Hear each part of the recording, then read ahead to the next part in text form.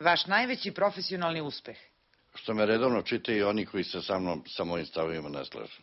Jedan časopis, par tekstova, par studenta, par prijatelja. A neuspeh? Što sam i dalje u posle koji upotrebljavaju i zlopotrebljavaju političari i tajkuni. Pre svega to što sam izgubio privatni život, a Srbija i dalje nije pristojno društvo kao što sam se nadao da će biti. Šta vam najviše smeta na medijskoj sceni u Srbiji? Nedostatak hrabrosti, pokornost, potkupljivost, Laž, licemerje i odsustvo elementarnog osjećaja za državu. Šta vam najviše smeta na političkoj sceni u Srbiji?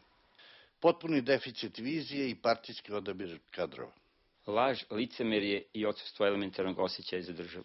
Kako ocenjujete novi zakon o informisanju? Truli kompromis i promašeni pokušaj uređivanja, demokratskog uređivanja reda na medijskoj sceni. Mnogo buke ni oko čega i mnogo gore stvari i mnogo gori zakoni prolaze bez komentara.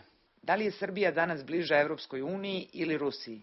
Programski deklarativno Uniji, sentimentalno praktično Rusiji.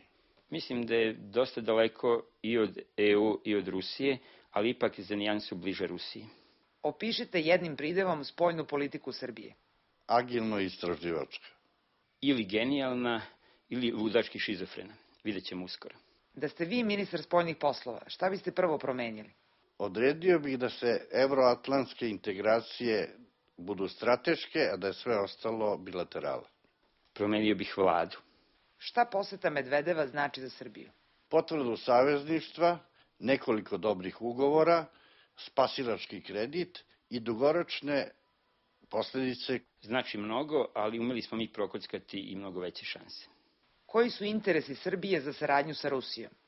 emotivno-politički, odbrana Kosova, posle toga sve drugo.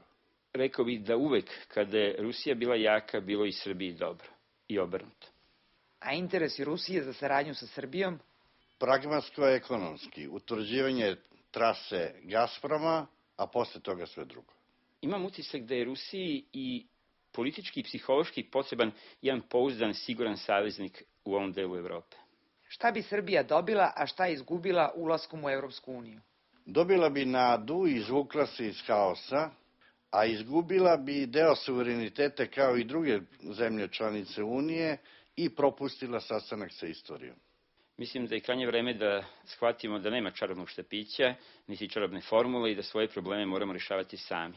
U ostalom, pitajte Rumune i Bugare. Da li će ova vlada uhapsiti Ratka Mladića?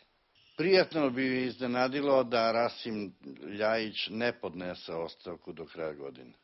Ne znam, to nije oblast mog interesovanja. Da li Srbija treba da uđe u NATO?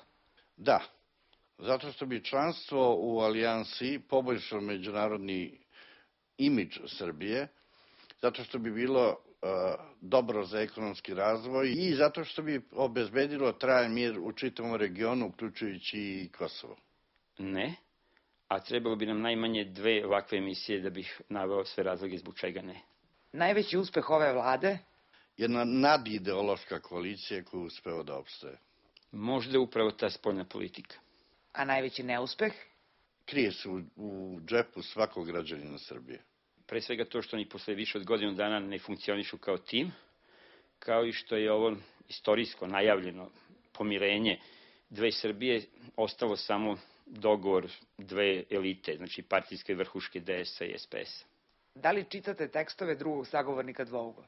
Da, iz neverice da tako konzervativna e, politička misla može da se zove nova.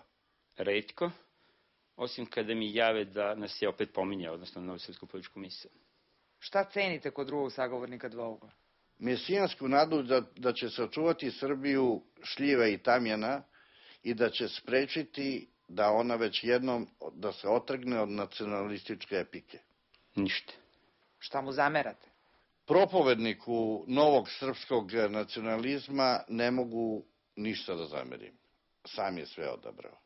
Ništa. Šta biste mu poručili?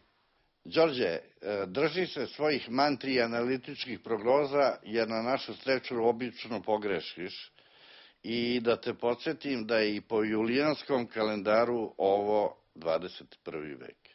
Zna Srbija.